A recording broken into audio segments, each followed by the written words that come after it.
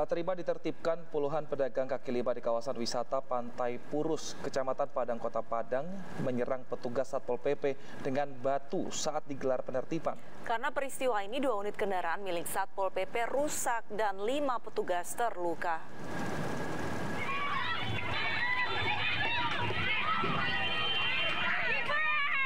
Bentrokan antara petugas Satpol PP dengan puluhan pedagang kaki lima di kawasan wisata Pantai Purus, Kecamatan Padang Barat, Kota Padang tidak dapat dihindarkan. Bentrokan pecah saat salah satu PKL hendak diamankan oleh petugas karena membawa senjata tajam sehingga menimbulkan reaksi pedagang lainnya. Pedagang melempari petugas dengan batu dan akibatnya lima personel Satpol PP terluka dan dua unit mobil patroli rusak akibat lemparan batu. Akibat peristiwa ini penertiban pun akhirnya dibatalkan. Insiden ini terjadi karena para pedagang tidak terima dengan adanya larangan berjualan di kawasan wisata Pantai Purus. Sementara Pemko Padang sebelumnya telah menyediakan tempat relokasi bagi para pedagang untuk berjualan di lokasinya yang berseberangan dengan kawasan Pantai Purus. Masalahnya PKL itu ingin tetap berjualan di pantai, hmm. padahal mereka sudah ada LPC. Fungsi LPC itu dulu kan untuk merelokasi mereka dari pantai ke luar pantai karena pantai itu dulu kan indikasinya ada maksiat, ada tenda ceper dan itu sudah disepakati ketika LPC dibangun. Nah, ternyata setelah uh, sekian waktu berjalan mereka ingin kembali lagi berjualan di pantai. 22 unit komputer milik SMP Islam Terpadu Bintang Marda di Sukabumi, Jawa Barat raib di gondol kawanan pencuri. Di aksi pencurian ini terekam kamera CCTV. Dari rekaman kamera pengawas yang dipasang pihak sekolah, terdapat kawanan pencuri yang berjumlah tiga orang menggondol satu persatu komputer yang tersimpan di ruang laboratorium SMP Islam Terpadu Bintang Madani, Kota Sukabumi, Jawa Barat. Pencuri diduga masuk melalui pintu yang dijebol. Usai melakukan aksinya, kawanan pencuri kabur melalui area persawahan yang berada di belakang sekolah. Kejadian ini pertama kali diketahui seorang guru setelah memantau CCTV yang tersambung dengan telepon selulernya. Sebanyak 22 komputer raib di gondol kawanan pencuri. Komputer yang digondol kawanan pencuri itu akan digunakan untuk ujian siswa dalam waktu dekat.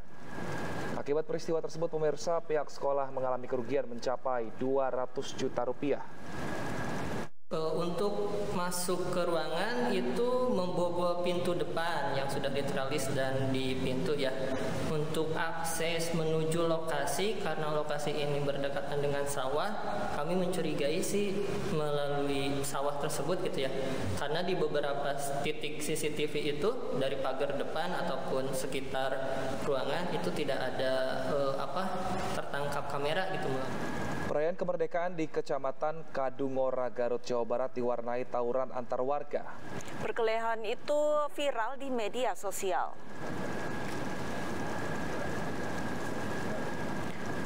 Perkelahian warga terjadi saat arak-arakan pawai kemerdekaan menuju Lapang Jaya Bakti. Kericuan diduga dipicu dari salah paham saat peserta pawai memainkan permainan tradisional lodong. Kelompok yang berselisih akhirnya berdamai lewat mediasi sejumlah pihak termasuk kepolisian.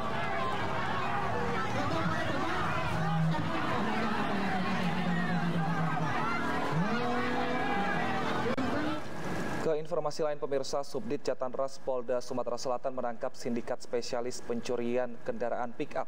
Dari 11 TKP, polisi mengamankan 4 pelaku serta 6 unit kendaraan roda 4. Pelaku mengaku kendaraan akan dijual kepada penadah di Kabupaten Musirawas dan Provinsi Jambi untuk digunakan di kawasan perkebunan.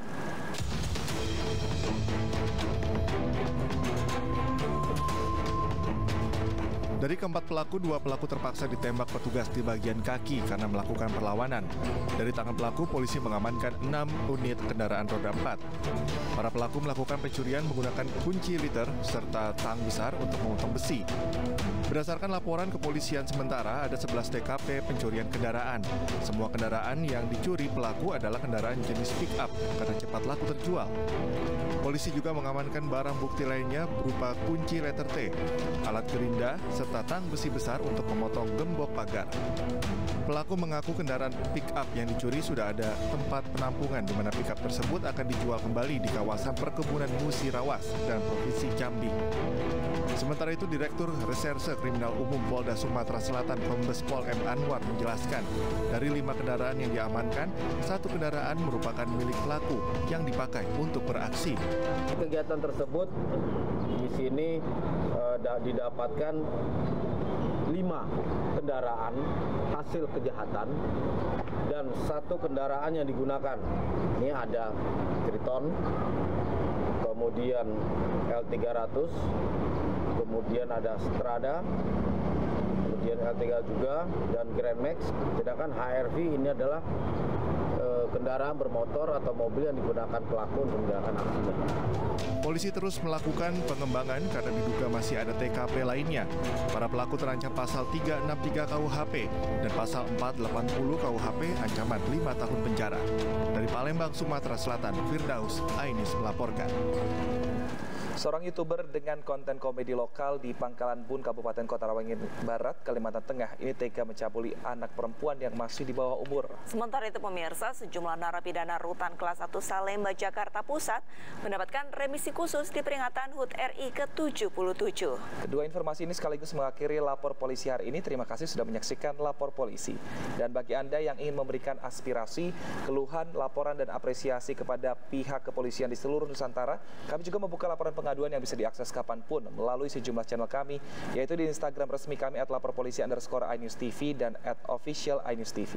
Dan Anda juga bisa menghubungi kami pemirsa melalui email laporpolisi.inews at gmail.com.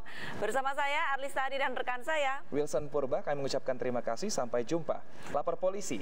Anda, Anda lapor, kami, kami sampaikan. sampaikan.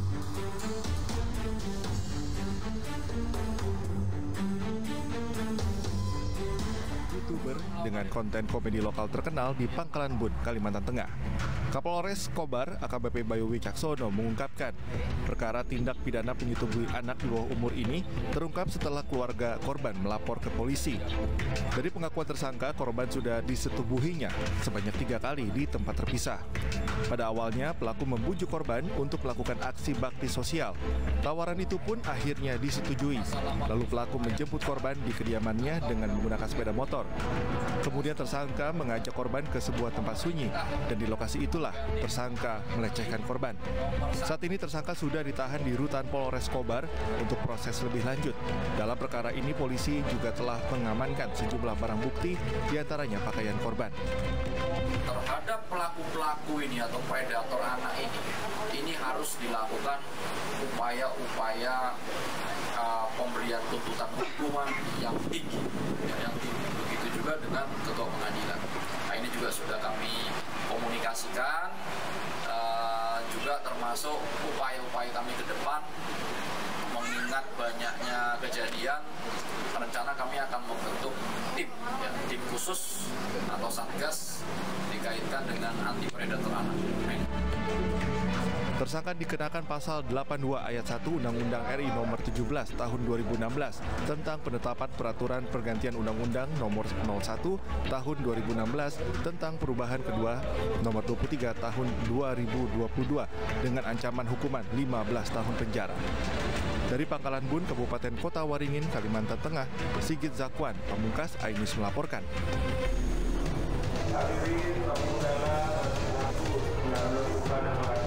Suasana haru terlihat saat sejumlah napi rutan kelas 1 Salemba, Jakarta Pusat mendapat remisi khusus di HUT ke-77 Republik Indonesia yang diberikan Kemenkumham Rabu siang. Dari total 3.000 napi, hanya 830 napi yang mendapat remisi khusus di hari kemerdekaan dan 33 napi mendapat remisi umum 2 atau langsung bebas. Satu RU2-nya itu ada sebanyak 33 orang ya. Jadi yang RU2 hari ini yang langsung pulang sebanyak 33 orang sisanya itu mendapatkan RU1. Kalau persyaratannya apa? Persyaratannya ya, ya seperti standar saja ya. Yang pertama dalam kurun waktu satu tahun belakangan berkelakuan baik ya. Kemudian eh, yang bersangkutan juga sudah mendapatkan vonis eh, putusan dari pengadilan. Sementara itu, sebanyak 37 napi rutan negara Banjarnegara langsung sujud syukur begitu mendapat pengurangan hukuman di Hari Kemerdekaan Republik Indonesia. Remisi diberikan kepada warga binaan yang sudah memenuhi syarat dan memiliki catatan kelakuan baik selama menjalani masa hukuman. Dari Jakarta dan Banjarnegara,